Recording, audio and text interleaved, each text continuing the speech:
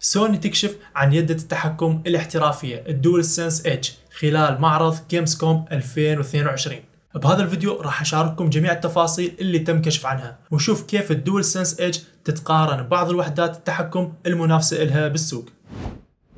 خلال العرض الافتتاحي بمعرض Gamescom جيف كيلي صعد على المسرح وأعلن عن وحدة التحكم الجديدة نيابة عن سوني. The DualSense Edge. It's a high performance, ultra customizable wireless PlayStation 5 controller designed by PlayStation.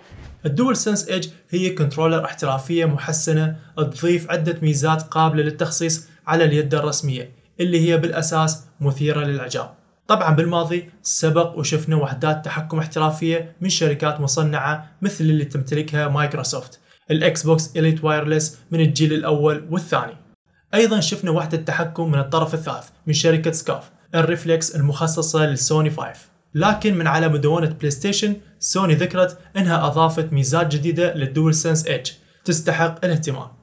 أولها هي التخصيص الفائق والكبير اللي يتناسب مع أسلوب لعبك. فراح تقدر تعمل إعادة تعيين أو إلغاء تنشيط بعض الأزرار المحددة وتضبط ال aim عن طريق ضبط حساسية عصا ال analog وأيضا راح تقدر تضبط ال dead zone. وبالإضافة لذلك يدة ال DualSense الجديدة راح تعطيك القدرة على ضبط حساسية زر ال trigger. وأيضا راح تقدر تضبط المنطقة الميتة حسب تفضيلك لكل trigger بشكل منفصل. يعني على سبيل المثال مع ألعاب ال shooter راح تقدر تقلل مسافة الانتقال للمشغلات بشكل يدوي للحصول على trigger ات أسرع. أو مع ألعاب السباق راح تقدر تقلل من المنطقة الميتة للتحكم الدقيق بدواسات الخاصة بسيارتك. الميزة الثانية هي إمكانية حفظ بروفايلات متعددة خاصة بك. فبمجرد ما تلقى إعدادات التحكم المثالية الخاصة بك تقدر تحفظهم بملفات التعريف وتقدر تبدل بين هاي الملفات اللي حفظتها بشكل سريع. ميزة أشوفها جدا حلوة في حال أنك تشارك ال controller مع أخوانك بالبيت. وأيضا هي رائعة في حال كنت تستخدم إعدادات وتفضيلات مختلفة لكل لعبة.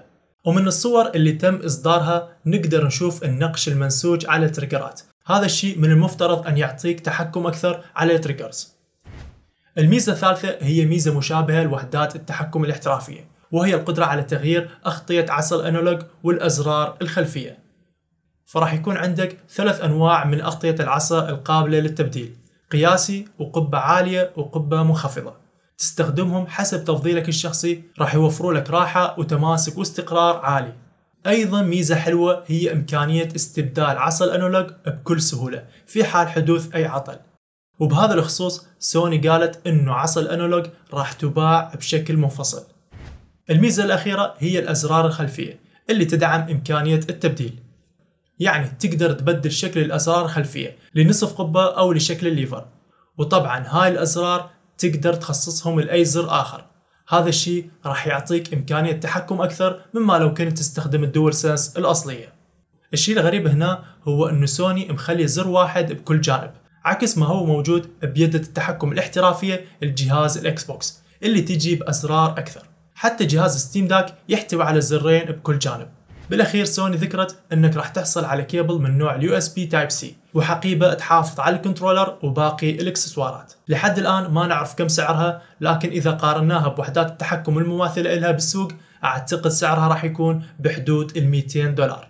بالأخير أعطيني رأيك بالدول سنس الجديدة وهل تشوف الأزرار الخلفية مهمة مع العاب الشوتر؟ اكتب لي جوابك بالتعليقات. كان معكم علاوي تحياتي لكم ومع السلامة.